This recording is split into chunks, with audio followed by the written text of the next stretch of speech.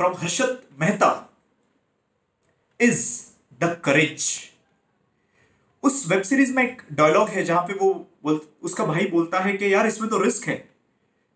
तो वो बोलते हैं कि, अरे भाई रिस्क है तो इश्क है। रिस्क है तो इश्क है। इश्क।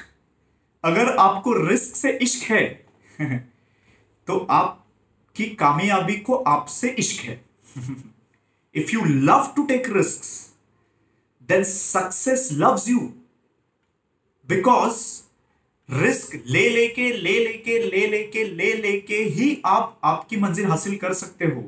All the successful people in the world entrepreneurs business owners founders actors athletes all this people if you carefully observe the common ingredient हर इंसान में वो, जो कॉमन एक चीज़ है, वो ये है कि वो डरते नहीं है. हमें डर लगता है उनको बट वो डर के आगे जाके, वो बोलते डर के आगे जीत है।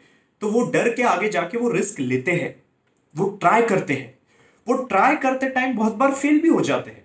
लेकिन उन फेलियर से, उन मिस्टेक्स से वो लेसन लेते हैं। They hack those lessons and then most of them they don't repeat those mistakes some of them they keep repeating the mistakes but still they keep doing they don't quit अंदर ही अंदर थोड़ा डर होता है उनको। लेकिन वो रुकते नहीं है। वो आगे जाते हैं। वो ट्राई करते रहते हैं। लोग उनको बोलते हैं कि ऐसा मत करो, ऐसा मत करो। तुम गिर जाओगे, तुम्हें लग जाएगा, तुम फेल हो जाओगे, तुम्हारा पैसा चला जाएगा। तुम मर जाओगे, तुम्हें ये हो जाएगा, तुम्हें वो हो जाएगा। अरे लोग क्या कहेंगे? अरे लोग क्या सोचेंगे?